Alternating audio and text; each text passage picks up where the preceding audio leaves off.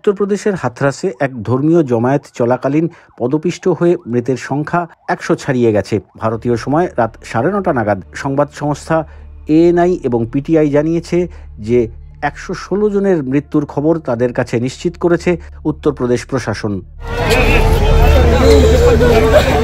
মঙ্গলবার হিন্দুদের ধর্মীয় জমায়েত সৎসঙ্গ শেষ হওয়ার পরে হঠাৎই দৌড়দৌড়ি শুরু হওয়ায় ওই দুর্ঘটনা ঘটেছে বলে জানিয়েছে পুলিশ।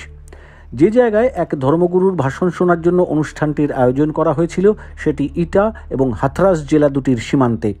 এর আগে পার্শ্ববর্তী জেলা ইটার হাসপাতালে সাতাশটি মৃতদেহ পৌঁছিয়েছিল, যাদের মধ্যে তেইশ জনই নারী। এছাড়াও তিনটি শিশু ও একজন পুরুষের মৃতদেহ ওই হাসপাতালের শবগৃহে পৌঁছেছিল বলে নিশ্চিত করেছিলেন ইটার senior police superintendent Rajesh Kumar Singh.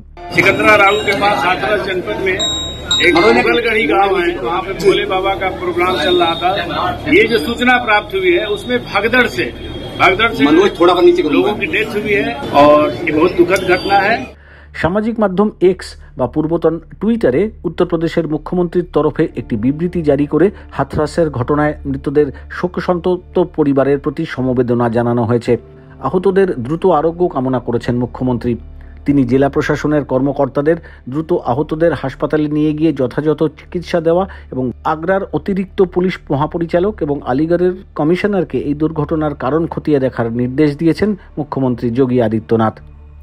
জেলাটির প্রধান মেডিকেল অফিসার উমেশ আগরওয়াল বলছেন যে আহতদের অনেককেও ইটার হাসপাতালে ভর্তি করা হয়েছে।